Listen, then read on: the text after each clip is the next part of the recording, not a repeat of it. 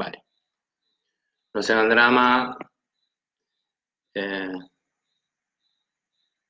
bien. Seguimos por, los dos, ¿no? Entonces, eh, como les decía recién, de alguna manera el hecho de... Em,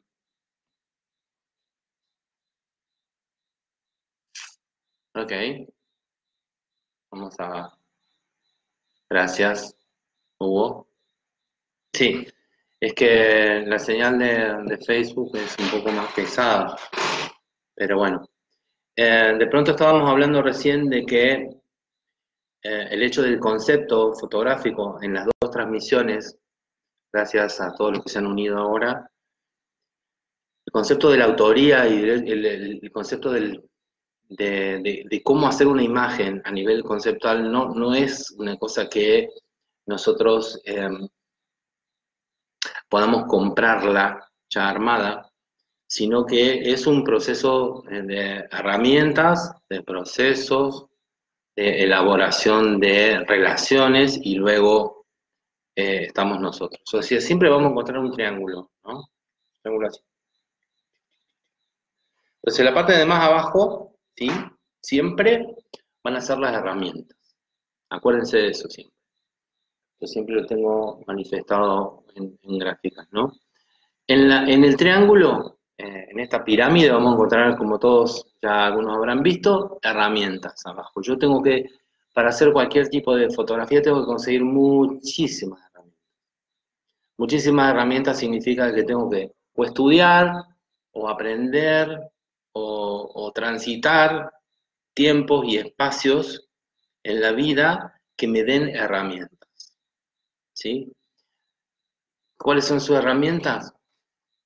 Estas, estas, bien, las películas, el teatro, el maquillaje, el cine, el conocer, el estar abierto, el open mind, eh, la filosofía, la arquitectura, el cine, eh, no sé, la panadería, herramientas, la que sea.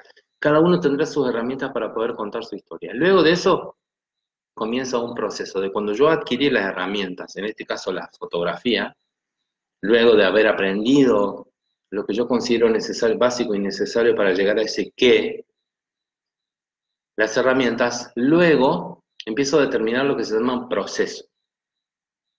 ¿Mm?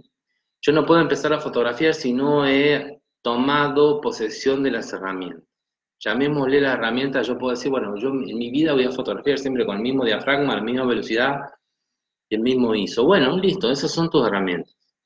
¿Vale? De ahí, cuando yo reconozco que con esas herramientas me alcanza y me es suficiente y es lo que yo he podido tomar, mientras tanto, ahora, en el aquí y el ahora, yo ahí empiezo a hacer un proceso. Ese proceso puede ser reconocer el macro, reconocer el zoom, reconocer la distancia, reconocer de qué manera yo me relaciono con los demás, de qué manera puedo hacer una foto rápida, lenta, con larga exposición, lo que sea. E, eso es un proceso. Pero yo tengo que elegir ese proceso. ¿Sí? O sea, es como que tengo que tomarlo, apropiarlo a ese proceso, para que yo pueda utilizar las herramientas, porque es como que o sea, siempre el problema está en el escalón de abajo. Si yo no puedo hacer fotografía nocturna, o si yo no puedo hacer fotografía de figura humana, o desnudos, o paisajes, o lo que sea, sé porque es porque las herramientas no las domino, ¿sí? Llámese la luz, la, eh, no sé, la estética, la forma, el fondo, el miedo a fotografiar. O sea, siempre el problema está en el, en el escalón de abajo. Entonces, luego de haber empezado un proceso que normalmente los procesos no son eh, ni más ni menos que en un tiempo que puede rondar entre los 3 y 4 años. Fíjense, no hablemos de esto, es como que hacer un proceso fotográfico. No estoy hablando de un estudio fotográfico, estoy haciendo de un proceso, elaborar un, disco, elaborar una película, eh, no sé, hacer un dossier, elaborar una serie puede, como mínimo, puede estar rondando, rondando entre los tres o cuatro años. ¿Mm? Pueden ser dos, pueden ser seis y bla, bla, bla. O pueden ser diez. Pero pero siempre es un tiempo que no es corto, ¿sí? No lo tenemos que considerar como que hice las fotos del fin de, el fin de semana y ya está. No sé si me siguen con, la idea, ¿ok? Acá. Ahí le voy a decir a ella. Seguimos transmitiendo por Instagram y por Facebook, así que seguí por ahí. Bien, disculpen, pero estoy tratando de parchar cosas por ahí. Bien, eh, entonces, el proceso fotográfico comienza, comienza desde el momento que yo digo, quiero fotografiar esto. Quiero este qué. Niños de tal edad, objetos de tal forma, situaciones humanas de tal, tal etnia. No hay otra forma que, que, enraizarlo a eso, ¿no? O sea, de ponerle raíz y ponerle fundamento. Bien. Entonces, hablábamos recién de las herramientas y luego de los procesos. ¿Cuál es el fundamento del proceso? O sea, ¿cuál es la idea que determina un proceso? Las ideas que determinan un proceso principalmente se basan en la investigación, se basan en la búsqueda de, eh, qué es lo que me está motivando a mí, ¿no? O sea, qué es lo que me está pareciendo a mí que es interesante, ¿bien? La motivación que yo tengo para hacer una fotografía, ¿bien? y de qué manera yo investigo sobre eso. Porque no me viene cualquier, no me viene bien cualquier puesta de sol, cualquier eh, rama, cualquier tierra, cualquier cielo. No, me viene bien el que yo estoy investigando. Por lo tanto, en un proceso creativo, es muy importante que yo haga un proceso de investigación. ¿Mm? Y mucho más ahora, mucho más ahora, porque ah, el quiebre que nosotros veníamos eh, pidiéndole al mundo que sucediera, sucedió. Esto de la concientización del, del mundo de la basura, de, la contaminación y de la concientización de la persona como ser humano, ¿quién me dice hoy que no estamos atravesándola en la línea de tiempo? ¿Mm? Entonces, esto nos da a todos nosotros un proceso. ¿De qué manera vamos a empezar a vivir el resto de nuestras vidas hacia allá o hacia allá. Esto es muy interesante porque hablábamos en las charlas pasadas que no podíamos seguir haciendo la fotografía que estábamos haciendo. O no podíamos seguir haciendo fotografías como si fuera una maquinita cualquiera. ¿Mm? Las máquinas fotográficas, aunque no tengan alma, ¿sí? aunque no tengan razonamiento, se ofenden. Eso es una metáfora. Se ofenden y hacen todo lo imposible para que hagamos fotos feísimas. Se ofenden, porque vinieron preparadas de alguna manera para hacer fotografías, no para sacar fotos solamente. Vinieron preparadas con un sistema interno de fotómetro, de diafragma, de velocidad, de intensidad lumínica, de valores de exposición, de balance de blanco y un montón de materiales como para que nosotros hagamos más rica nuestras fotos. No para que terminemos comprando una cámara para mm, hacerla como que como que por la cámara sola las fotos tienen que salir bien. Entonces, de alguna manera, como podemos hacer fotos con nuestro celular maravillosas, cuando tenemos herramientas y cuando estamos en un proceso, también podemos darle ese lugar para que la cámara al menos no se enoje y hablarle a la cámara como pareciéramos así como locos. Te pido por favor que hagas lo que yo quiero o, o, indícame hacia dónde tengo que ir. Podría parecer una locura, ¿no? El hecho de que nosotros le hablemos a nuestra cámara y le digamos, a ver si hoy me vas a ayudar. Porque es una máquina.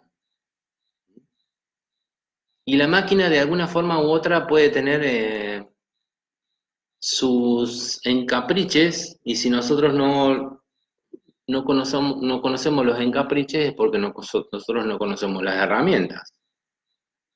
Es como que queremos usar un martillo para sacar un clavo, que sí, hay un solo martillo que sirve para sacar clavos, los otros no. O con una pinza de tuerca querer este, clavar un clavo. O sea que de pronto la herramienta es súper importante que se conozca. Para eso hay escuelas, para eso hay profesionales que enseñan, para eso hay eh, este tipo de, charlas y de seminarios para que nosotros tengamos conciencia de primariamente de poder manejar nuestro equipo, ya sea el celular, ya sea una máquina primitiva, ya sea eh, una máquina reflex, ya sea lo que sea, pero al menos conocer nuestra herramienta.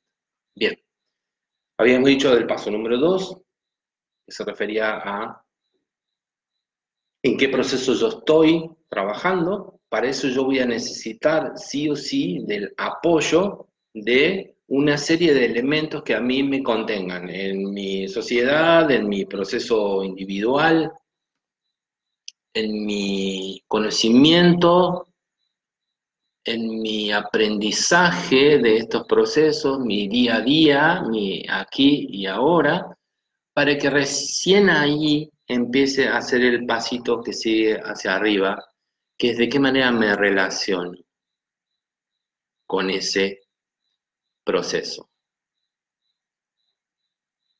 ¿Mm? ¿De qué manera me relaciono con ese proceso?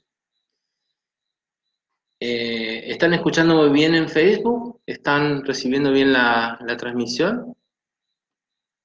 Les pido que me hagan un check ahora, porque tengo acá 11. ¿Me pueden, por favor, eh, chequear? Porque hay gente que me dice que no recibió, no están recibiendo bien. Pónganme un sí, por favor, o un no. No tengo forma de verificarlo. Paula dice que sí. Ok. Bueno, gracias. Gracias, Paula. Bien. Entonces, luego de entrar en el proceso, ¿sí? estar en ese proceso, ¿bien? Recién ahí comenzamos a chequear lo que va hacia arriba, que es de qué manera yo me relaciono, tanto con el proceso mismo,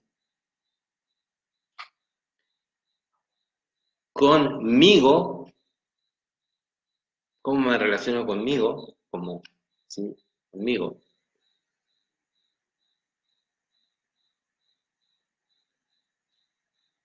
¿De qué manera me relaciono con el mundo y de qué manera me relaciono con mi propia obra? ¿Sí? Son varias formas de relacionarme. Si yo no sé de qué manera me voy a relacionar con mi trabajo, si lo voy a tomar como un gusto, si lo voy a tomar como una obsesión, si lo voy a tomar como un día a día, si lo voy a ir desarrollando de a poco, si lo voy a hacer simplemente los fines de semana, si voy a ir cuando me voy de vacaciones y bla, bla, bla, tengo que chequearlo, eso tengo que ordenarlo y darle de alguna manera un lugar. Mi proceso lo voy a hacer mi relación con ese proceso lo voy a hacer una vez al mes, por ejemplo.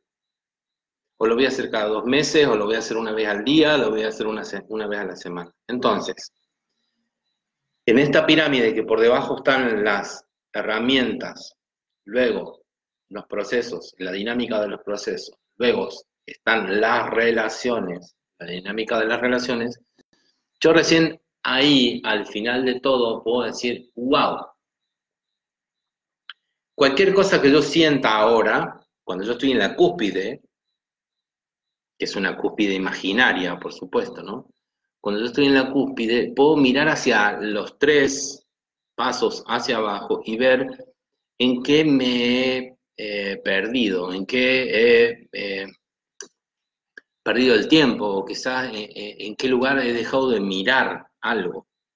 Si en las herramientas, porque me olvidé de que esto era tal cosa, si en los procesos, porque en realidad me fui por otro lugar, ¿bien? O si me olvidé de comunicar qué es lo que quería decir, ¿no? O sea, qué es lo que quería expresar. Entonces, herramientas, procesos, relaciones y al último de todo eso, podemos considerar que tenemos algo así como una serie de fotos. Algo así como un dossier o una carpeta. Algo así como un libro, algo así como una muestra. ¿Me van entendiendo? Que para hacer una exposición fotográfica, para hacer una serie, un dossier o bla, bla, bla, necesitamos atravesar esas instancias. Necesitamos atravesar esas instancias porque son las necesarias para que ese trabajo llegue a fin. Si no, nos perdemos en el camino. ¿Quiénes se pierden en el camino? Todos todos, ni, ustedes ni yo estamos eh, exentos de perdernos, en el camino cuando queremos hacer algo y no dominamos una determinada técnica. O cuando no estamos en el proceso de hacerlo, ¿sí? O cuando la, la relación que tenemos con nuestra obra es medio como que entre sí y no. Es como si, es como un sí. ¿Bien? Vieron que cuando dice, bueno, eh, quiero hacer fotografías de paisajes. Y es un como sí. Un como sí es, puede ser rara vez sí y normalmente es no. El como sí no siempre es sí. ¿Mm? Rara vez es sí. Entonces es súper importante, súper interesante que nosotros podamos reconocer en este proceso cuarentenístico ¿Cuáles son aquellos elementos? ¿Cuáles son esas vivencias emocionales que cada uno está trabajando, está internalizando de la soledad, de la presencia, de la ausencia, del desapego, del apego, del amor, de cómo hago para irme de mi casa ahora si yo me quería ir antes y no me decidía, o sea, bla, bla, bla, todas estas cosas que vienen sucediéndose y que son interesantes también de trabajarlas desde este lugar, es importante de que ahora se manifiestan, se hacen presentes. Esto de la connotación de, lo que sucede, ¿no? O sea, cómo está, cómo se muestra la realidad sin que nosotros hayamos dicho nada. Se nos mostró la realidad a cachetazos. ¿Mm? Entonces, qué bueno que pase porque nos muestra, nos muestra esta parte de vulnerabilidad que nosotros podemos trabajarla, ¿sí? Hoy hablábamos eh, con un fotógrafo amigo de México, en donde me decía, bueno, acá en México todavía no han dado la cuarentena y la gente sale a comer a la calle sin ningún problema en la mayoría de los estados y no sé qué, bla, bla, bla. Este estado de conciencia y este estado de locura y este estado de, cuestión de vulnerabilidad y este grado también de contención que nosotros tenemos en este espacio de trabajo, en donde estamos hablando de un montón de cosas, ¿sí? Es interesante que caemos o caemos. O sea, nos damos cuenta que quien tiene una cámara fotográfica quienes tienen una cámara fotográfica, es súper importante que empiecen a desarrollar su proceso. ¿Sí? Por ejemplo, ya no es lo mismo, ya no, ya no sucede de la misma manera la realidad en el tiempo que lo que sucedía hace una semana atrás. no es el, el, el tiempo no corre de la misma manera. Hoy corre mucho más lento. ¿Se han dado cuenta? Antes corría muy rápido. Antes corría muy velozmente. Decíamos que los chinos, los japoneses iban muy rápido y toda la gente... Y ahora no vemos a una persona por la calle. Entonces este paradigma que tiene que ver con el tiempo, la Tierra venía girando así y de pronto hizo así y se clavó en un minuto, es algo para reconsiderar casi todas nuestras esferas de relaciones humanas.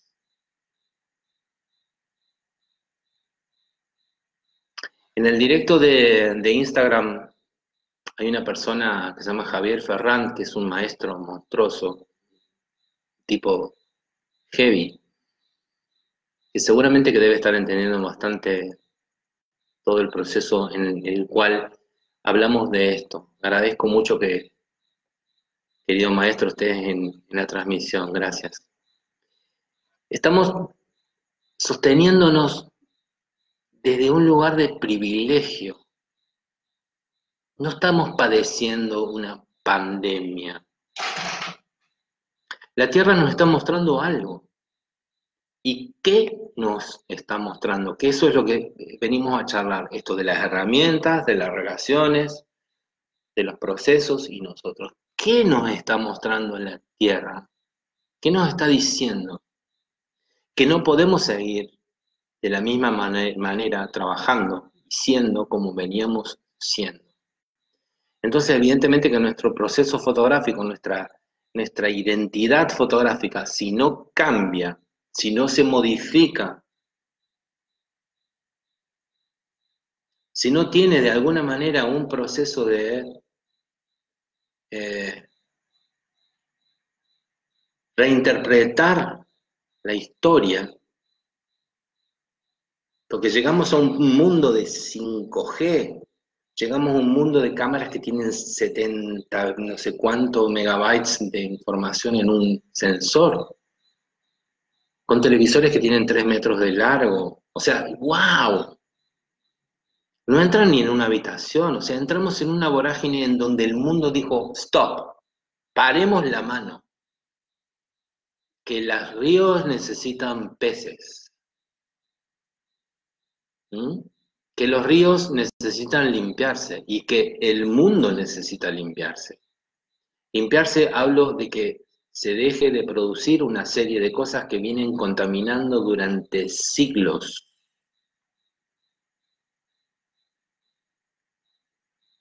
y dejamos de leer y dejamos de escuchar a los Beatles y dejamos de escuchar a Pat Metheny, ¿sí?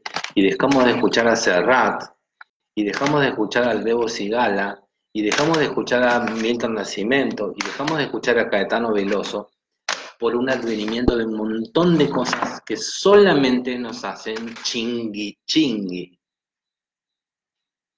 Y dejamos de estudiar y dejamos de leer historia y dejamos de leer sociología y dejamos de interpretar al mundo como la información necesaria y básica para poder hacer fotografía o hacer cine o hacer teatro. El médico no estudia por internet.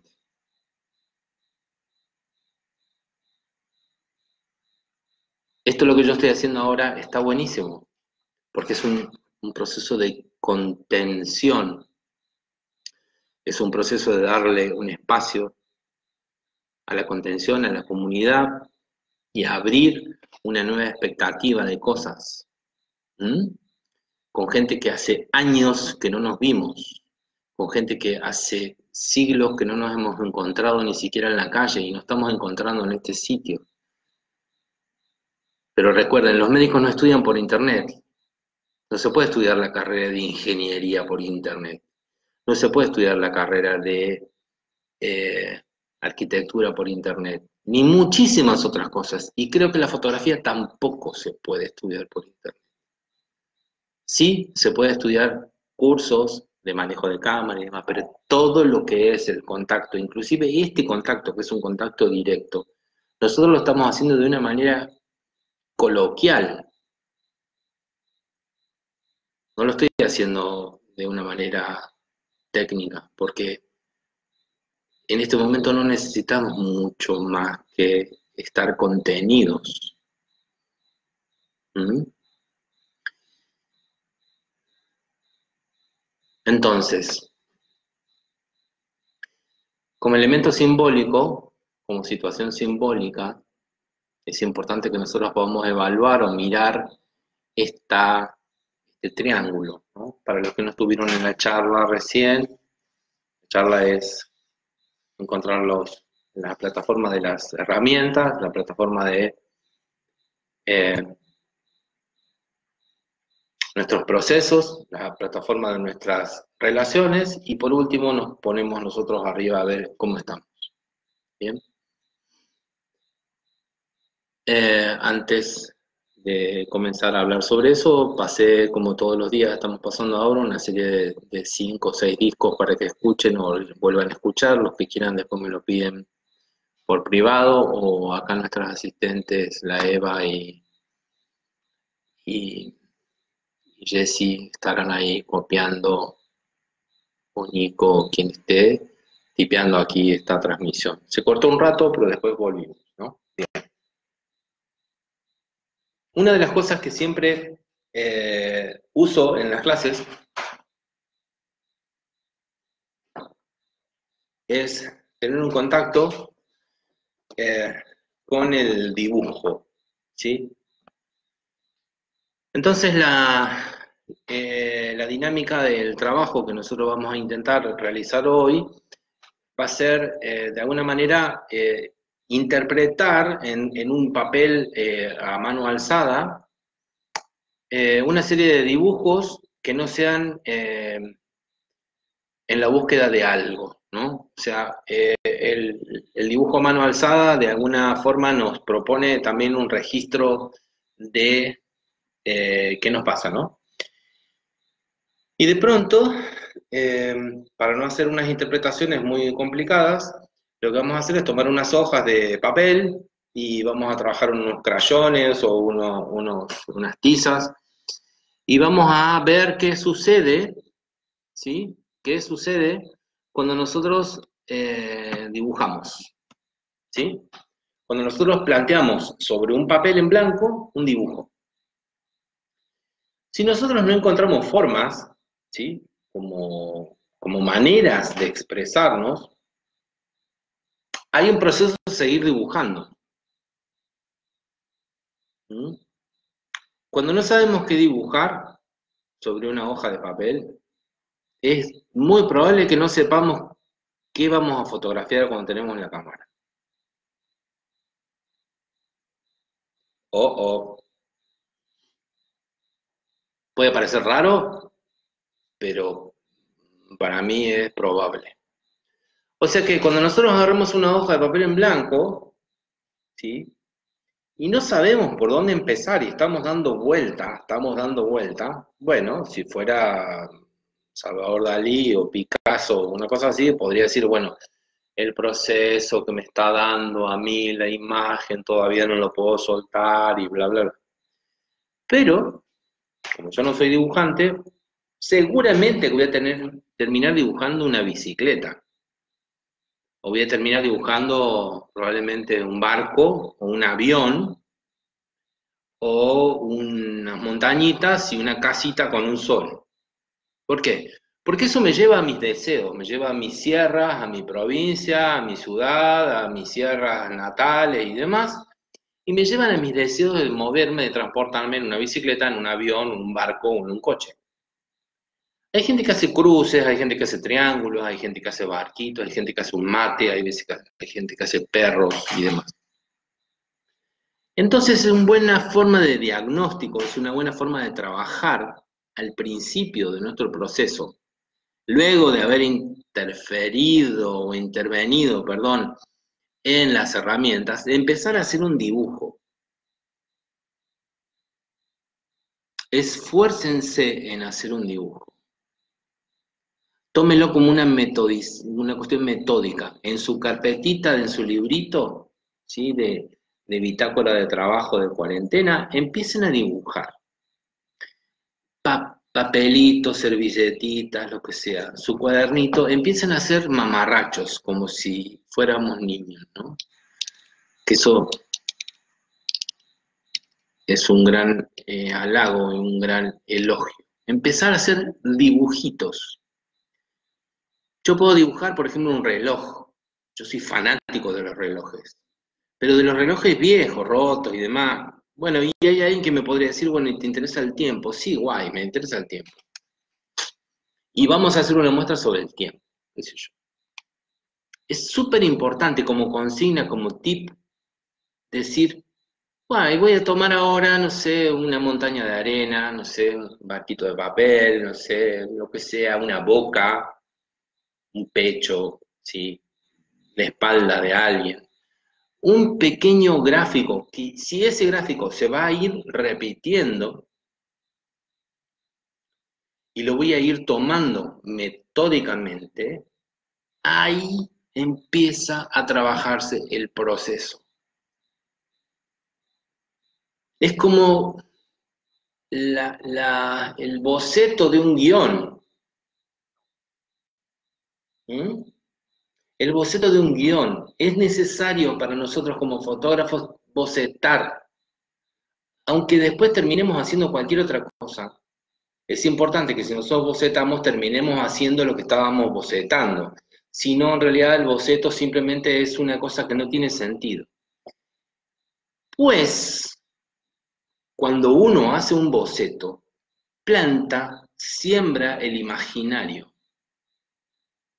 Siembra el imaginario, lo siembra ahí, le está echando agüita todo el tiempo al imaginario, a nuestro imaginario, de niños, de adolescentes, de ancianos, de joven, de separado, de triste, de solo, de, de lo que sea. Plantear en un dibujo un imaginario y luego leerlo o mirarlo para representarlo probablemente en fotos. ¿Mm? Ese imaginario, que llamémosle es nuestro boceto, o sea, imaginar es algo que puede llegar a suceder en el tiempo adelante, en un futuro, es importante que nosotros lo tengamos en cuenta, porque es como decir, bueno, voy a escribir la, la, letra de una canción y puede salir de primera y puede no salir de primera, y yo puedo corregirla durante años. Es como si fuera la hojarasca que García Márquez hablaba en su obra.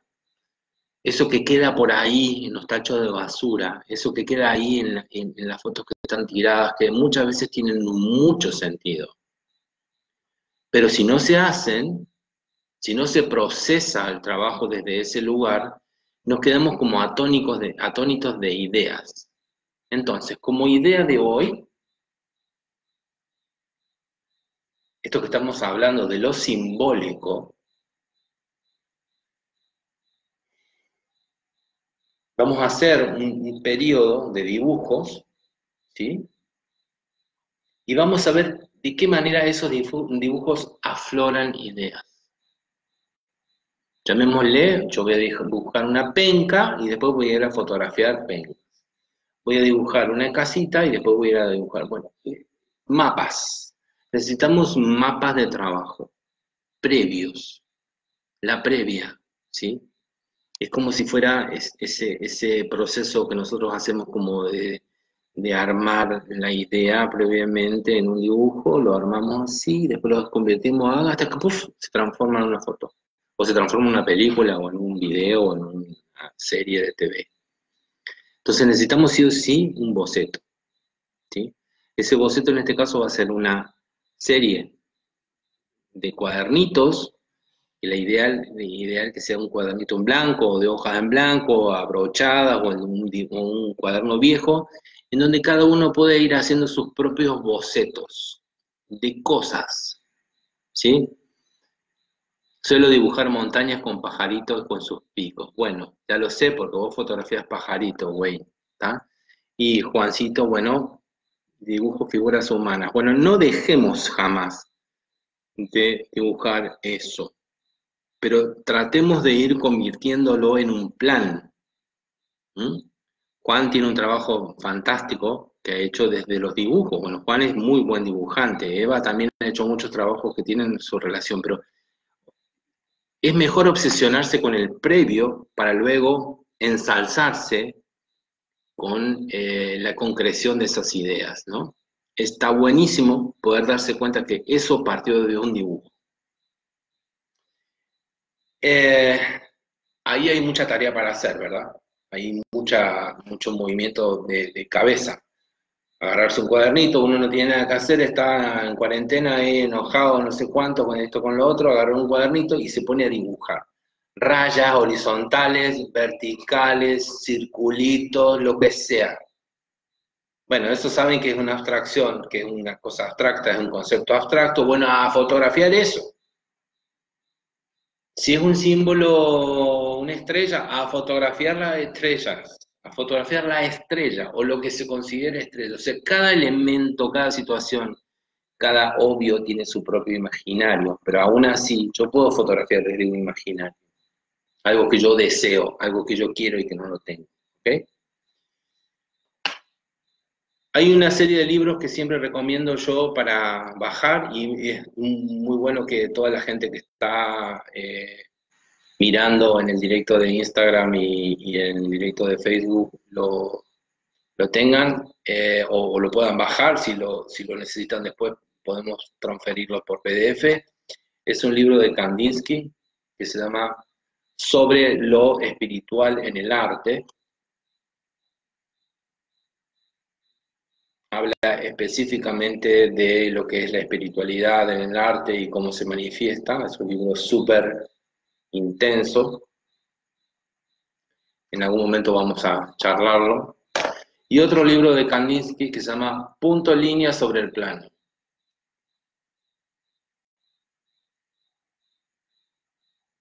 ¿Ok? Pueden ser muy técnicos, pueden ser extremadamente plomos en algún lado, pero ustedes saben que todo lo que muchas veces no gusta en un principio, después uno se vuelve amante de ello. ¿Ok? Es verdad, todo lo que a uno le cuesta aprender, todo lo que a uno le cuesta tomar, luego se transforma en una dinámica amorosa. Entonces, a no negarse de lo que a uno le cuesta entender. ¿Bien? Eh, un jueguito para la gente grande, un jueguito para la gente joven, un jueguito para la gente media y un jueguito para los niños, va a ser el siguiente. Como en este tiempo hemos disparado un montón de ideas, también van a salir un montón de ideas para toda la gente de otros países que nos están siguiendo, para toda la gente de otros lugares. Busquemos de alguna forma lo que es el lenguaje simbólico. Entonces, ese dibujo que ustedes van a realizar, esos dibujos que van a realizar, van a ver si se animan de compartirlo en nuestra página, en nuestra fanpage, en la eh, UFE Live Channel, de que si yo encuentro algo parecido a algo en ese dibujo, voy y lo fotografío. ¿Mm? No es una cosa complicada. Si yo dibujé un barquito, construyo un barquito con algo. Y le hago una foto. Pero tengo que hacer los tres pasos. ¿Mm?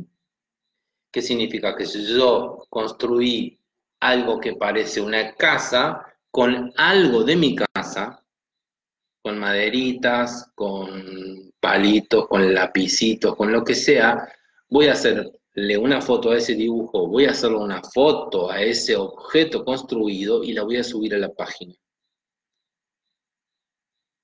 ¿Ok? O sea, repito, no estamos trayendo la metáfora, no estamos trayendo la metáfora, sino estamos trayendo de que la imagen del qué va a aparecer en el dibujo la imagen del qué. Digo, hago un cuadrado con dos ventanas, ¿sí?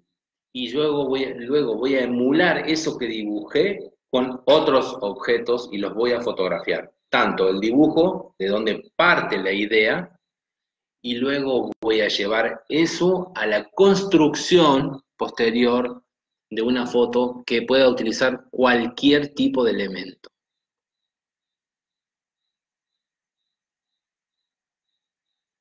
¿Queda claro? O sea que si dibujé un globito, o si dibujé un vestido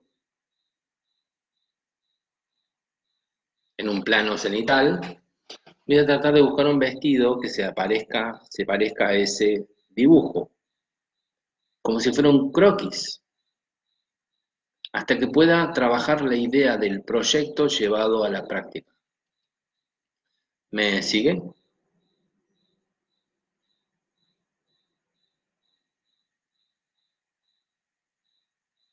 Bien.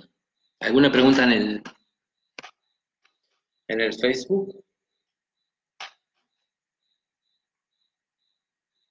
Tratemos de evitar cualquier imagen que tenga que ver con la fotografía, está claro, tratemos de, evitar cualquier tipo de imagen que sea obvia.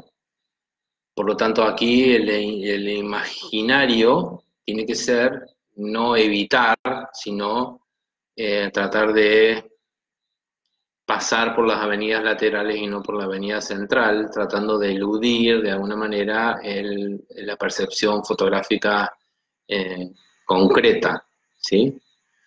Entonces, dibujamos, hacemos una serie de cinco o seis dibujos, los podemos pintar, podemos mancharlos, podemos romperlos, podemos bajar, hacer un, collage, lo que sea, y sobre eso que nosotros obtenemos, dejarlo ahí y tratar de buscar algo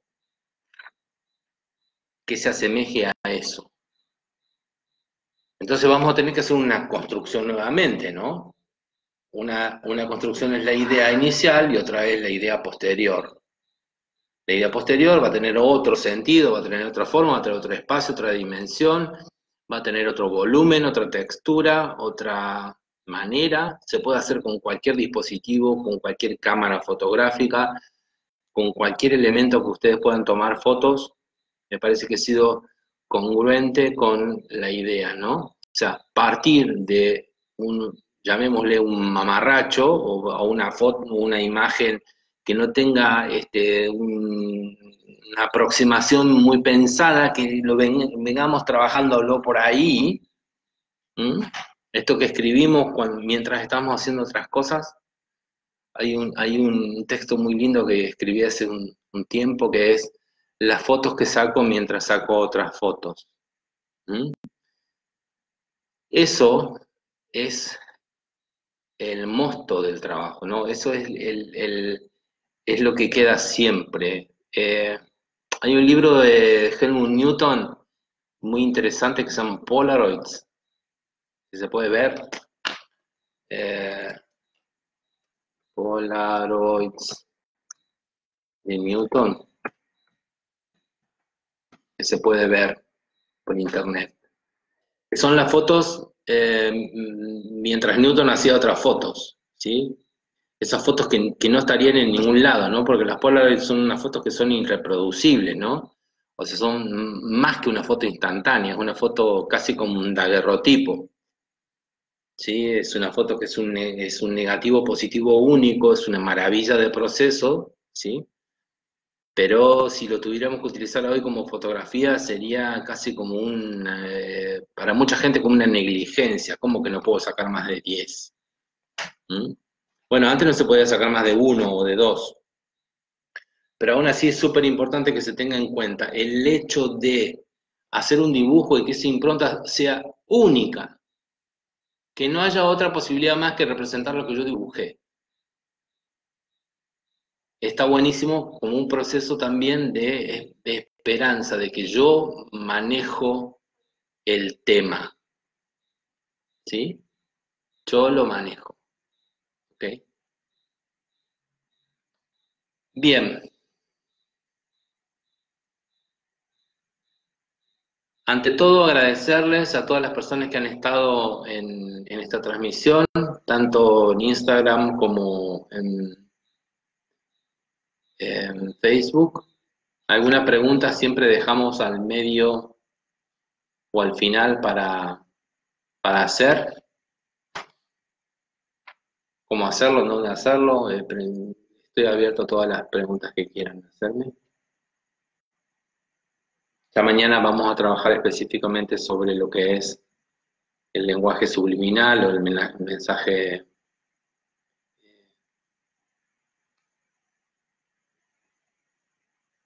por debajo y por arriba de la realidad.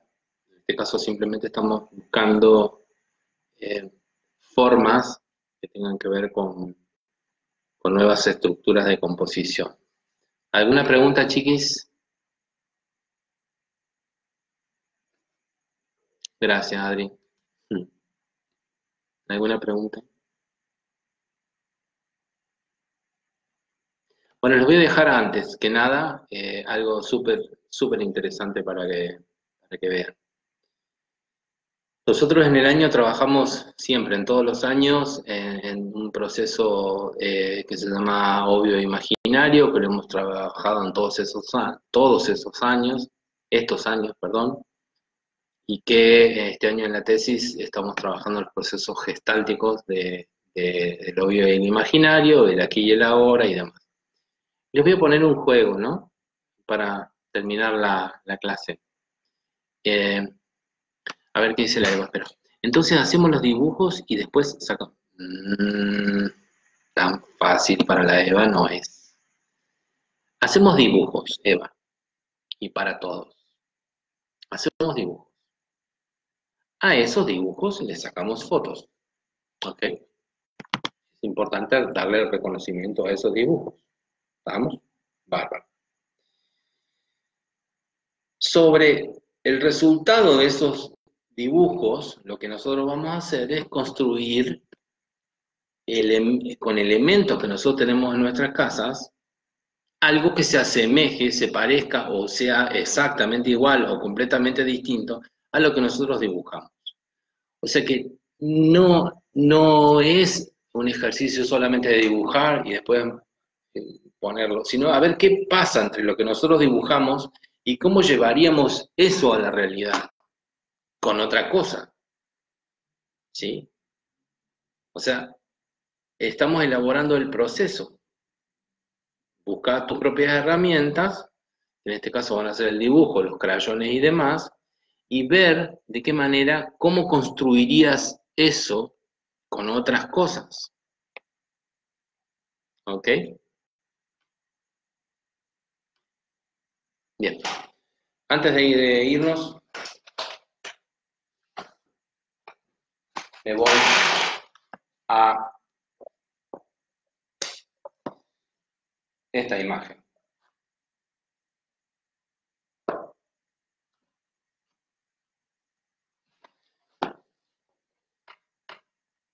Yo ahora lo que voy a hacer es dibujar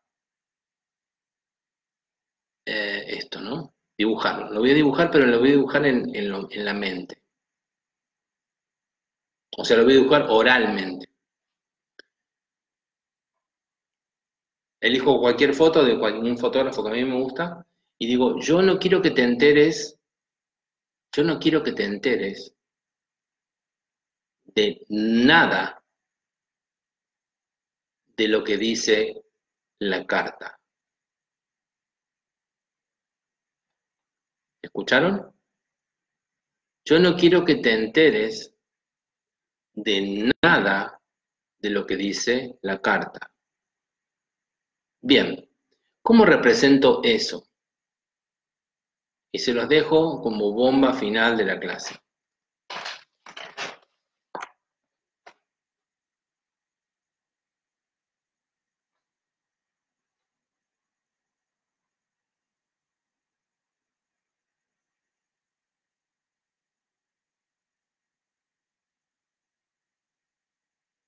¿Lo ven?